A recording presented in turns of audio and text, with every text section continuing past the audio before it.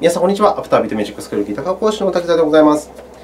びっくりするほど緩い楽天、イェーイということで、私、滝沢がこの楽天というクソ難しい音楽の理論書を皆様に解説させていただこうかなと、解説させていただこうかなと、そういう感じの趣旨の動画でございます。まあ、普通にすごい読みにくい方なんでね、あのこのまま正面から突っ込むとドガーンと跳ね返ることになってしまうから、えー、まあ、こうね、いろいろ噛み砕いて雑談っぽくお話をさせていただきますので、ゆるく楽しく音楽理論を学んでいこうぜ、イエーイと、えー、そんな感じです。よかったらご覧くださいませ。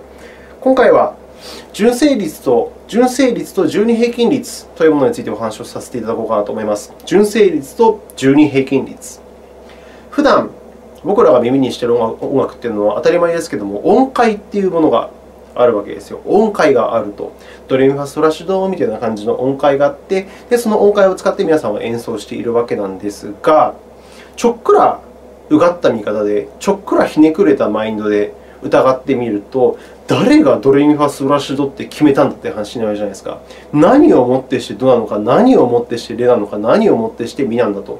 そんな感じで見ていくと、音階を決めるルールがあるはずだということになるかと思うんですが、そのルールこそが純正率とか12平均率という感じです。まあ、いろんなルールがあるんですけれども、この2つだけ押さえておけば OK かなという感じですし、えー、現代の音楽っていうのは、まあ、もう9割9分以上、もうほぼほぼすべて12平均率というものについて、あ12平均率というルールで音階を作っております。なので、まあ、12平均率だけ知っていればいいかなとは思うんですけれども、まあ、ついでだから純正率というものも学んでおきましょう。300年とか400年ぐらい前になってくると、もう12平均率は全然使われてなかったんです。もう純正率というものしか使われてなかったです。ピアノとかも純正率でピアノ調律して、もうね、いろんな楽器もチューニングして、純正率でみんな演奏してたんですけども、ここ100年ぐらいで12平均率の方が全然便利じゃないかということで、えあっという間に12平均率一色の世の中になってしまいました。まあ、それぞれのメリット、デメリットもあるんですが、まあ、それはまあおいおいえお話をさせていただこうかなと思います。それでは、レッツスタートという前に、ちょっと前置き。あの緩い楽天と言っておきながら、今回はちょっくら緩くないと思います。結構がっちり理解しておきたいなという方は、紙とペン、あとあと電卓を用意してくださいませ。あのスマートフォンとかのあの、ね、なんか機能であるじゃないですか、電卓機能とか。もうそういうので別にいいです。紙とペンと電卓、この3つを用意してください。なんとなくざっくり理解していればいいかなという方は、えー、特に用意しなくていいので、このまま、緩く見ていただければという感じでございます。それでは行きましょう。えー、純正率からまずいってみたく思います。純正率。いくぜいくぜ !1、純正率。純正率とは、純正音程を持って音階を構成する方法である。そこでまず純正音程の説明をして、次に純正率による音階の説明をする。まあ、簡単に言うと、純正音程というものを使って、まあ、純正率というものは作られているんだと。なので、まあ、その純正音程を純正音程とは何かを知らないと、まあ、作れないわけですね。うん、で、その次に、えー、純正音程が来ます。純正音程、ちょっと読んでみます。いきます。純正音程。人間の耳は、2音の2つの音の振動数が簡単な比になっているほど強和して感じ、複雑な比になっているほど不協和音に感じる性質を持っている。共和音程と呼ばれる小音程がどのような比になっているのかを次に示す。まあ、すごい簡単に言うと、2つの音が鳴っています。で、その2つの音の振動数、周波数をアナライズしたときに、簡単な比になっていればなっているほど共和していると感じて、複雑な比になっていればなっているほど不協和音と感じるわけなんです。で、この純正音程というものはすごいこう、ね、シンプルなものでございまして、えー、ちょっとしっかり理解したい方は、この辺メモしておくと良いかなと思います。まず2つの振動数が1対1の音程、1対1ってどういうことやって話ですけれども、まあ、片方が100だったら片方も100という感じです。これを完全1度と呼ぶことにしますと。完全1度です。で、その次、2つの音が1対2になっているもの。1対2。これは完全5度です。完全5度。まあ、つまり、ここの音が100だったら、こっちは150。あ、違う、嘘だ。嘘だ。これはすげえいろいろ嘘つきました。いろいろ嘘ついてます。1対2の場合は、これは完全8度です。つまり、こっちが100だったら、こっちは200ってことですね。えー、こんな感じで1対2になっているものは完全8度と呼ぶことにすると。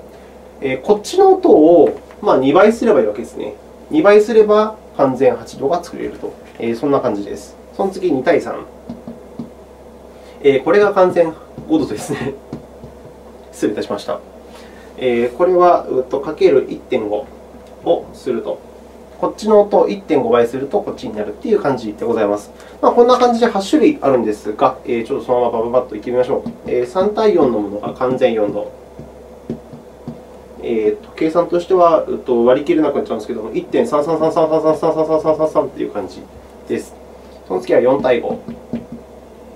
これは超3度です。かける1.25。えー、ちょっと単3度は使わないので、ちょっと飛ばします。で、その次はうんと3対5。これは超6度。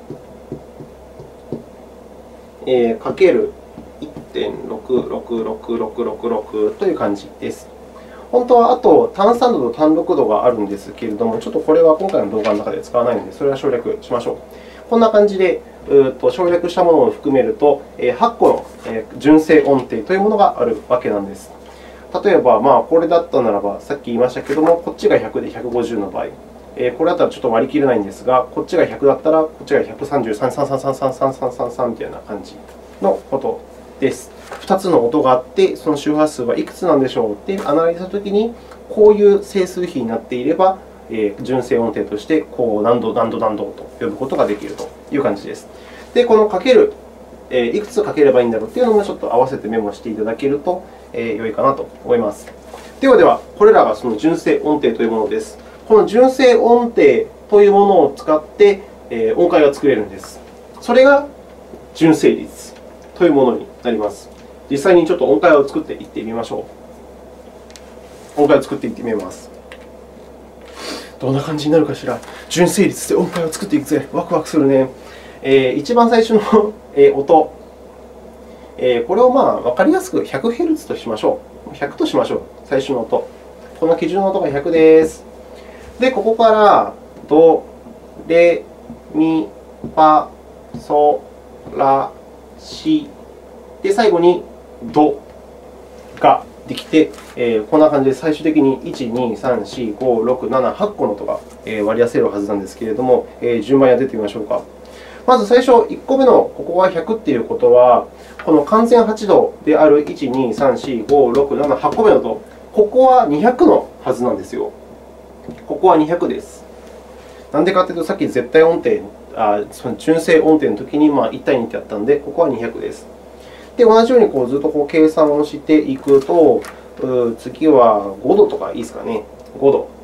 ここは、えー、と2対3になっているはずなので、えー、周波数でいくと150のはずだと。150です。で、その次、超3度は1.25倍すればいいので、125になっているはずだと。で、その次、完全4度に関しては1.33333倍していくので、ちょっと割り切れないんですが、133バババババババという数字でございます。で、超6度も3対5なので、1、2、3、4、5、6、ここですね。ここも、えー、と166点66666バババババという数字でございます。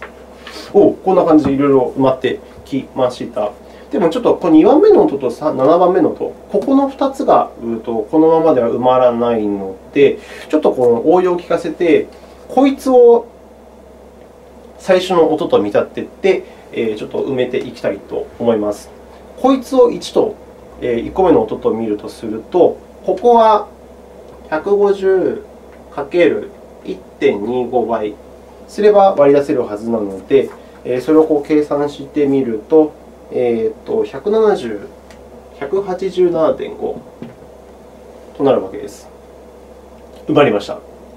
で、その次、えっと、ドレミ、ドレミファソラシドレという感じで、ここにあるレの音を割り出せば、ここは出てくるはずなので、こいつから見て、1、2、3、4、5個目の音、えー、完全5度を計算してみると、そうすると、えーと、完全5度の場合は、えー、と1.5倍すれば OK なので、150を1.5倍します。そうすると、225という数字が出ると。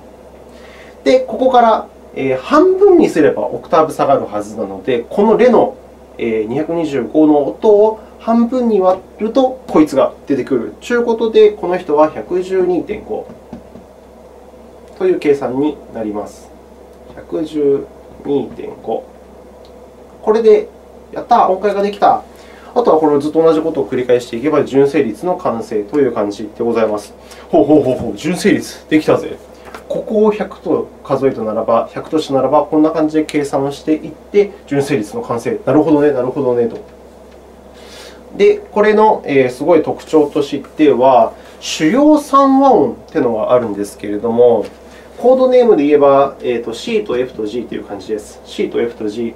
これそれぞれ、え C の場合はドミソなので、これとこれとこれって感じですね。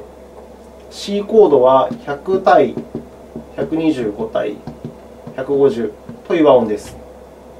で、その次 F は、えファラードなので、これとこれとこれという感じです。133対166対200。まあ、ちょっと割り切れない数字があるので、この辺は、えー、あの少し目をつぶってください。で、その次 G に関しては、素子レなので、え、これを対比で表していくと、187.5対225。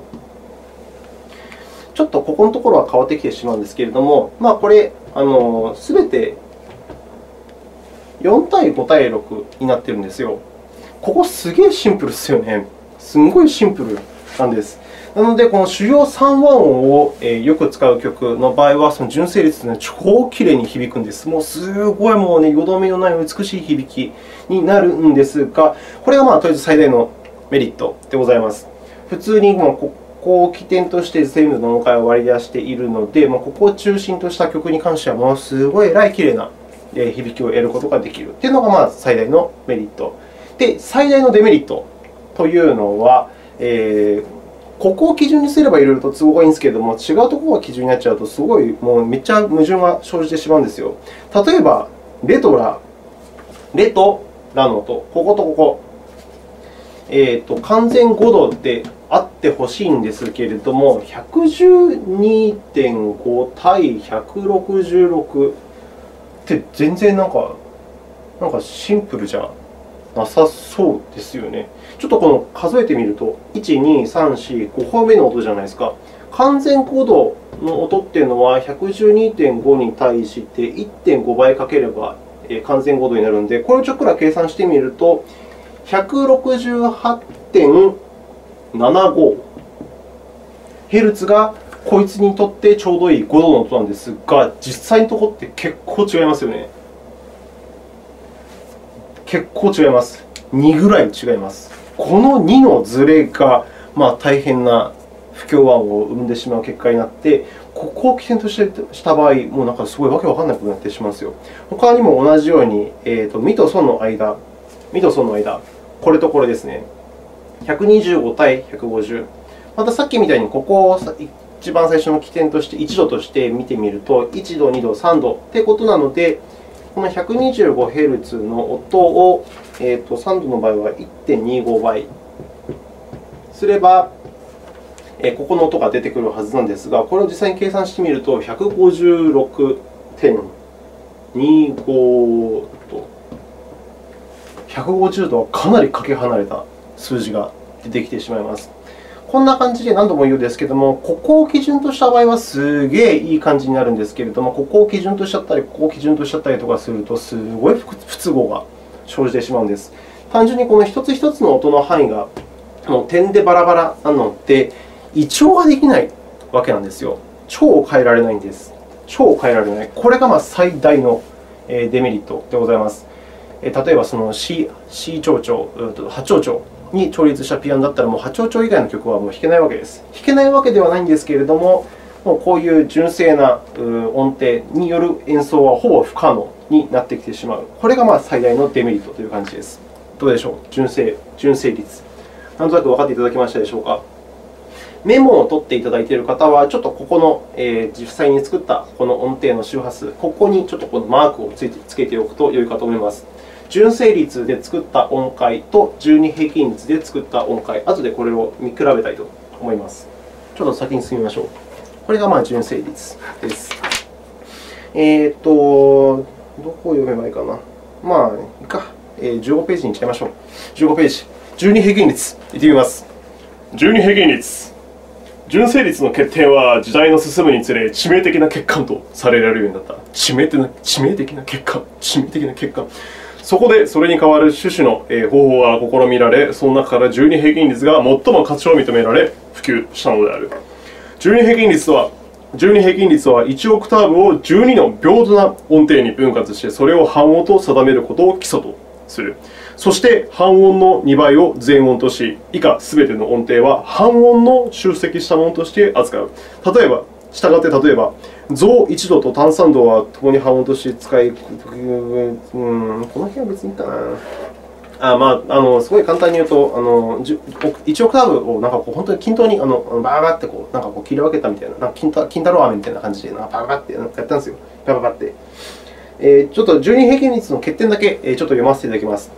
3、12平均率の欠点。各半音は感覚的に1オクターブを12等分したものなので、実際の振動数比は12乗して2になる数字、つまり、えー、ルート2の12乗である。これは無理数であって、オクターブの場合を除いて断乗しても決して純正音程の2分の3や4分の5などに一致しない。したがって何調の何和音を演奏しても完全に調和した響きは得られない。これが欠点である。しかし、この欠点、つまり不協和不協和音の度合いがどの音程においてもほぼ平均に微小であり、利点の方が圧倒的に多いので、この12平均率が世界に普及したのであるとあります。まあ、さっきあの純正音程という話をさせていただきました。一体、えーと、完全5度の場合は、この音とこの音が100対150みたいな感じで、2対3の場合は、すごいこう綺麗な響きがするよと、えー、なんかその話をさせていただいたんですけれども、12平均率の場合は、もうそういうのが一切なくなっちゃうんです。もう完全8度以外、純正音程が存在しなくなってしまいます。なんかすっげえ微妙にずれているんです。でも、その微妙なずれがもう平均的にすごいちっちゃいんですよ。すごいちっちゃいずれなんです。なので、えー、まあ、欠点ではあるんだけれども、どっちかというとメリットの方が大きいよねということで、えー、現代で使われるに至りました。えーと、また音程を作っていってみましょう。最初の音を100とします。ここからド、レ、ミ、ファ、ソ、ラ、シ、で、ド。が出てくるはずなんですが、ここで電卓音登場です。純正音程とか関係なしに、えーと、ルート2の12乗をしていきます。100にルート2の12乗をしていくわけです。ちょっと分かりづらいんですが、100かける1.0546ですね。1.05946って合ってるよな。確かそうです。合ってます。合ってます。押してみます。で、イコールをちょっと押してみましょう。そうすると、当然ですけれども、105.946という数字が出たかと思います。これがドシャープの音になります。ここですね。ドシャープの音。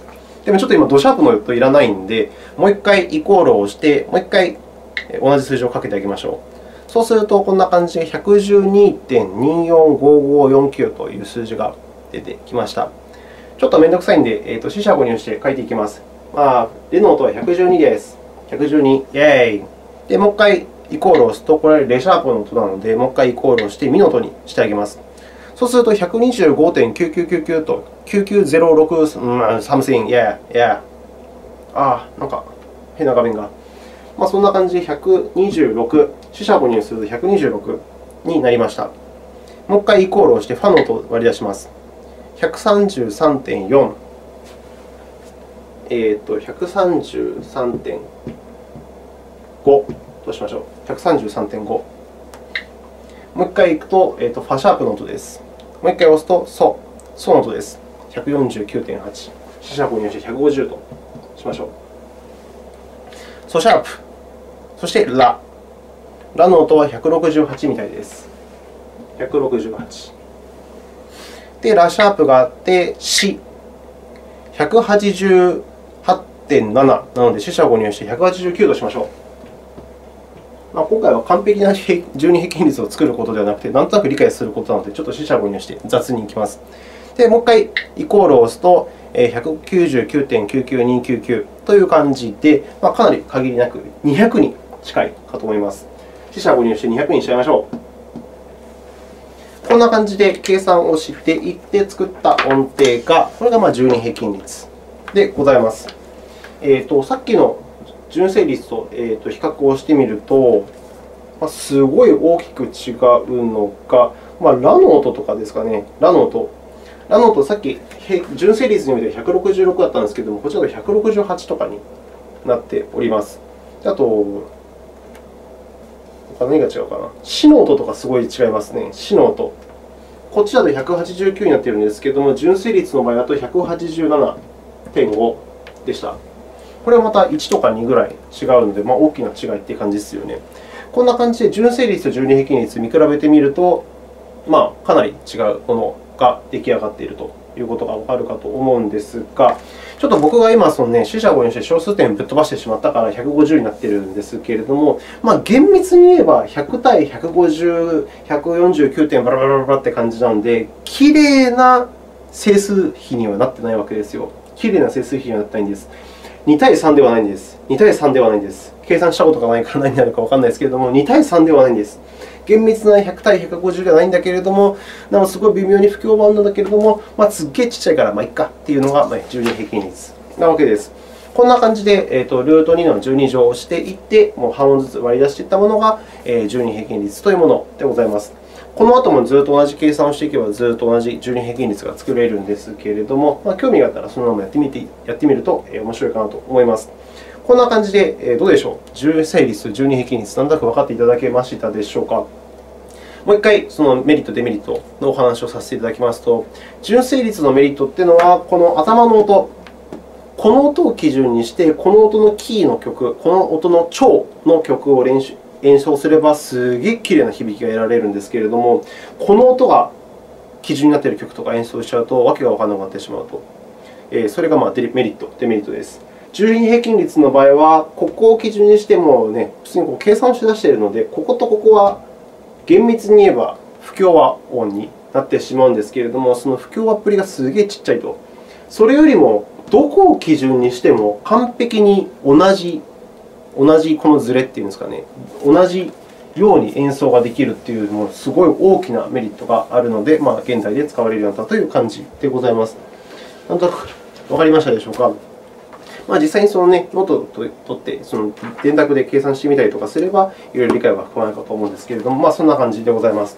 これが純正率と純平均率というものでございました。まあ、知って何かいいことがあるかというと、まあ、特にないんですけど。はい、ああと最後にちょっと,、えーと、余談余談をさせてくださいませ。余談をさせてくださいませ。あのバッハの曲で、平均率クラビア曲集というのがあるんですけれども、あのこれは平均率は全く関係ないです。あのたまにその、ね、こんなタイトルがついているから、そのバッハが平均率を開発したとかっていう勘違いをしてしまう方がたまにいらっしゃるんですけれども、あれは全然関係ないです。平均率クラビア曲集という名前はついていますけれども、あの日本語訳がちょっとおかしいだけであって、あれを直訳するというか、あの正確に訳すと、よく調律されたクラビア曲集って感じなんですよ。そのよく調律されたという単語がなぜか日本に輸入されたときに平均率というものに付け替わってしまって、まあ、日本では平均率クラビア曲集という名前で浸透しているんですけれども、あれは全然平均率とは関係がないです。